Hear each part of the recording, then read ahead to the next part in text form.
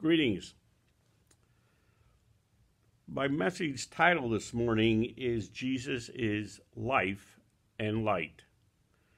And it's uh, part of my series that we started last week that I'm calling Who is Jesus? It, this all comes from uh, my trying to uh, cope with the message of Advent, which is uh, for this year, this season, was love and hope, joy and peace. And then look at the world and uh, our nation and our world today, which is filled with uh, darkness and evil. Now, as I've said before uh, several times, as we've sp- uh, spoken about contemporary um, developments in, in, in our nation, this is not a Democrat and Republican issue. Um, it's, it never has been. It's an issue between, uh, or a battle between good and evil, Satan and God. And that certainly crosses political lines. Um, but what I see in our nation's capital troubles me. Um, I think it's important for us uh, to remember and for me to remind all of us that God is on the throne. Uh, he's in total control of our world, and that uh, Jesus is still the answer uh, to humanity's needs. What is new for us, however, as Americans, is uh, that we must come to grips with the uh, reality of the darkness that are uh, that has descended on our nation. Gone are the days of uh, uh, Ozzie and Harriet and um, Father Knows Best. Our culture, our political leaders have uh, abandoned the moral values upon which we were founded as a country. God has been uh, banned from public discourse and is no longer valued. Um, and as a nation, we are realizing the consequences of those developments, those decisions. It seemed to me this past week, as I was reflecting on what I wanted to say today, that the counsel that comes from the author of Hebrews in chapter 10, we looked last week at chapter 1, but the counsel uh, that he gives his audience in chapter 10 uh, appears to be very practical wisdom for us in our day. He writes to them uh, and could just as well be writing to us draw near to God. Now, that was enabled or made available uh, by the coming of this baby Jesus, whose birth we just celebrated. His life, his death on the cross, uh, allows us to draw near to God. Before that, there was a gulf between humanity and God. You could only approach Him in very prescribed ways. And uh, if you violated that, uh, your life was in serious jeopardy. So now we can draw near to God, as the author admonishes us.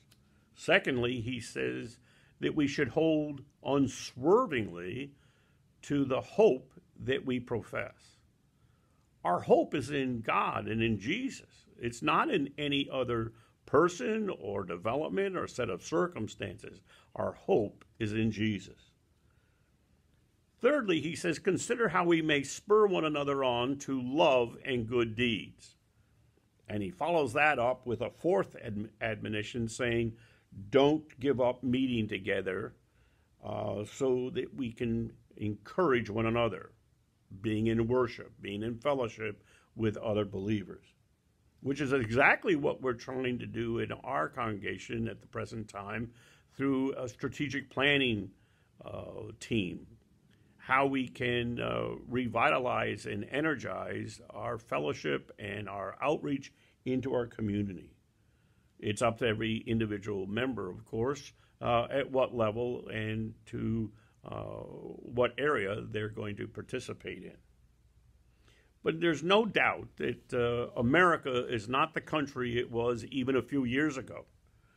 and our decline has been um, significant uh, in the last year. So, as a means of encouraging us, we looked into Scripture last Sunday uh, and asked the question Who is Jesus? Who is this baby whose birth we just celebrated? Well, my contention is that uh, God still speaks to us uh, in, in, in many times in various ways, but especially through Jesus and the Holy Spirit uh, and uh, and His Word, the Bible. According to the Bible record, Jesus is God in human form, and He is the exact representation of God's nature, as our author said last week. God is sovereign. He is in control of the evil that we see in our nation and our world, and He holds our universe totally together by the power of His Word, His will. And His Spirit, the Holy Spirit, still lives in us in order to instruct us, guide us, and empower us to live in a righteous way, a way that pleases God. But as we ended our uh, time together last Sunday, I posed a very difficult question. If God speaks to us, and I maintain that he does, and has provided it all the resources we need to live a righteous life before him, and he's provided that. He's given us his Holy Spirit to uh, instruct us, to guide us, to motivate us. How is it possible that our world, our nation particularly, is so filled with darkness and deceitfulness and corruption? Well, as I promised last week, we'll look at God's answer for that, and we find it in God in John's Gospel uh, in the first chapter. John gives us an, God's answer to that question, and we're going to get to that in just a moment. But in our text today, John affirms the words that we learned last week, or the truth that we learned last week from the author of Hebrews. But as with every author in the uh, scriptures, he does so in his unique way. And he adds some additional life changing insights to his uh, gospel record. Last week, the author of the Hebrews began his um, sermon, that's what he's writing, or a white paper, um, but he began it with a time marker, or what we call a time marker. He wrote, In the past, God spoke through the prophets. Now, his time reference is that of the Old Testament. After creation and after the formation of the Hebrew people um, from Abraham and Sarah. His goal was to show the change in means uh, of God speaking to humanity. In the past, the prophets, and now, as he was writing, now to them meant the first century, but it would also uh, apply to us. He speaks through Jesus, the Holy Spirit, and uh, his word. But the author of the Hebrews' ultimate goal was to show his audience that Jesus, uh, even in their day and as it is in our day, is the only means by which to have a relationship with God, meaning that traditional Judaism is no longer effective. It doesn't, uh, we, the animal sacrifices, as the Old Testament Jews uh, carried them out, do not work in, in covering our sins. Jesus' life and death, his blood on the cross, washes our sins away. So we come to John's gospel in chapter 1, verse 1, and we see that he has a time marker also, but it is different. He writes, In the beginning was the Word. Now, his time marker is both practical and theological. John is telling his audience, which included uh, Jews and Gentiles, uh, that Jesus is the pre existent eternal Son of God. He comes to the same conclusions relative to Jesus as the author of Hebrews. He just comes at it from a different time marker. Because John is writing to a different audience than the author to Hebrews was. And that shows us something very significant about Scripture. When we understand the audience to whom the author is writing, and we understand who's writing and what we know about that author, we get to see Jesus, and I would put see in quotes, uh, in a different perspective. And that is that when we look, for instance, at the four Gospels Matthew, Mark, Luke, and John each of these writers write, is writing to a specific audience and is portraying uh, or presenting Jesus to that audience in a way they would relate to it. And when we look at it in the whole, we get a more complete and accurate view of who Jesus is. Now, we'll get to this concept a little bit more as we come to um, part two of our series. But getting back to John's gospel, in the first three verses, he parallels the truths that the author of Hebrews gave us last week. Again, he just comes at it with a different time marker. And that is that Jesus is God, that he has always existed uh, along with God the Father, that uh, he existed actually before time. In the beginning was past tense. Um, the Word. Um, but he lived before time. Why? Because he created time. And in fact, as uh, John says to us, that without him, nothing was made that has been made. Verse 3 of chapter 1. You know, this word, word, that John calls Jesus is a very interesting and unique uh, word or concept. It has very special meaning in the ancient world for both Jews and Greeks. And so John uses that word to communicate truth to both groups because his audience was the whole world, his known world then, whereas the other gospel writers are writing to a unique or specific audience. What's important for us to know about this Greek word, word, which is logos, L O G O S, is that it refers to a message, not just a word or a single word. God communicated uh, in a message, and that message is both a verbal and a person. God is communicating with all of humanity through his word, Logos, Jesus. So everything that Jesus said, everything that he did, the way he said it, uh, the way he did it, uh, demonstrates for us that this is God speaking to us. Now, in verses 4 and 5 of chapter 1 of John's Gospel, we see John's presentation of Jesus in his unique way.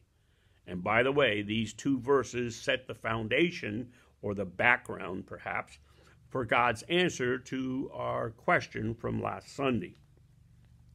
John writes, In him, meaning Jesus, was life, and that life was the light of men. The light shines in the darkness, but the darkness did not understand it. Now, the Greek word there for life, Zoe, just like the young lady's name, Z O E with a long E, refers to resurrected life, eternal life. If John were just speaking about human life in general, he would have used the word bios, like biology. And I want you to note in that verse that uh, this eternal life was for all of humanity. That life was the light of men.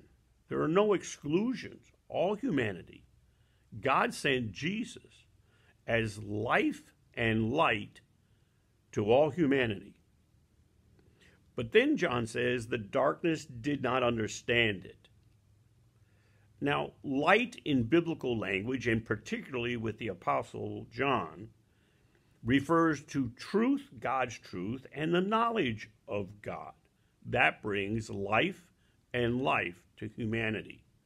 Darkness, on the other hand, refers to an absence of truth, and certainly a lack of knowledge or even acknowledgement of God. And thus, the word uh, darkness aptly describes our nation today. And it certainly described the world into which Jesus was born, John's world, Palestine, that was dominated uh, uh, or occupied by uh, the Roman uh, Empire. Darkness is humanity's natural state. Right? Darkness is a result of sinfulness, a lack of knowledge of God, acknowledgement of God, and relationship with God. So John says the darkness has not understood it, meaning life and light. The, the eternal life that was found in Christ as the Logos, the messenger of God, or the message of God, was not understood nor comprehended. Now, the Greek word for not understood it has as a root meaning uh, to grasp, to grab, okay? And therefore, there's two possible uh, applications or uses. First, grasp would be as to grasp and overpower, or grasp and understand and comprehend. Scholars have argued for centuries on which application or use of that word John intended. And I argue that John uh, intended both. He left it in, uh, intentionally ambiguous. You see, Westerners, um, modern scholars, and scholars down through the ages, we think uh, in terms of either or, has to be one or the other. Whereas Easterners, Jews of the ancient world think in terms of both and, doesn't cause them any grief at all. And so he thinks of both overpower and grasp as to comprehend or understand. Both meanings certainly describe our nation uh, today. Well, in verses 6 to 9, John pre- presents us with a parenthesis the Apostle Paul is noted for his uh, parentheses. There's great truth in these um, uh, distractions, if you will, or, or uh, parentheses, uh, but it sometimes makes it a little hard to follow the logic, especially with the Apostle Paul. But here, John is simply talking about John the Baptist and his ministry of preparing that world for the coming of Jesus. And based on that foundation that John has provided prior to that, he now moves in verse 10 to answer our question that we have from last week. In verse 10, he writes, He, Jesus, was in the world. Yes, he came as a baby and grew to be a man. And though the world was made by him, he created all that there is, the world did not know him. John is using the Hebrew concept of the word know, which means or relates to knowing someone in terms of relationship. That's opposed to the Greek understanding of the word know, which is more of a mental uh, acknowledgement of the facts, an intellectual understanding to know. Now, in truth, both of those definitions or both of those applications are important to God. That's why He revealed Himself to us. He gave us the facts so that we would know who He is and His nature. Um, and then He spoke to us uh, and still speaks to us through nature and the scriptures and Jesus and the Holy Spirit. And so both knows um, are valid. Uh, but here, uh, John's goal, God's goal, is the Hebrew uh, connotation of the word know, because he wants us to know him in terms of relationship. God created us for the sole purpose of having fellowship, having a relationship with us, with all of his creatures, including you and me, of course. So in verse 11, John goes on and he says, He came to his own, and those who were his own did not receive him. Now, this is another ex, uh, example of John's unique writing style and, and uh, skill uh, in writing, actually. The first, his own, is a word that refers to the entire creation, the, the entire world, everyone. But the second, his own, is a word that refers to a smaller group of people, uh, the Jewish people.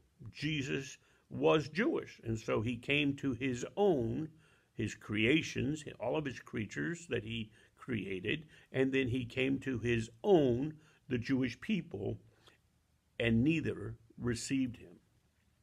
That's kind of the beauty of the ancient Koine Greek, the ancient world uh, Greek language. You can say so much with uh, a precise word or use of grammar. Uh, it was an, an excellent language uh, that we use today to understand Scripture.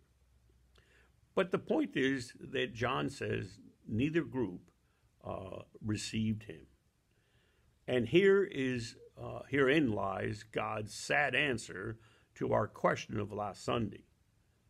Again, his own, both uh, the world, all of creatures, and uh, the Jewish people made a conscious choice not to accept Jesus, not to accept God's message of life and light that came through Jesus. And that is why, particularly, our nation at this time in history is in such dire straits. We're in darkness because we have intentionally dismissed God. We've dismissed his son, we've dismissed the word of God, the Bible, and God's message that came through Jesus.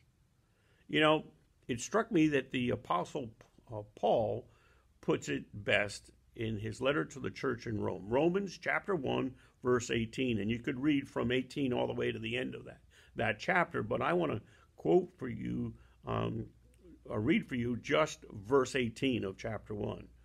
This is about the consequences of our choice uh, as uh, human, uh, human beings. The wrath of God is being poured out, present tense. If you read that last week, is being poured out. If you read it in a year, it still is being poured out. It's continuing present action.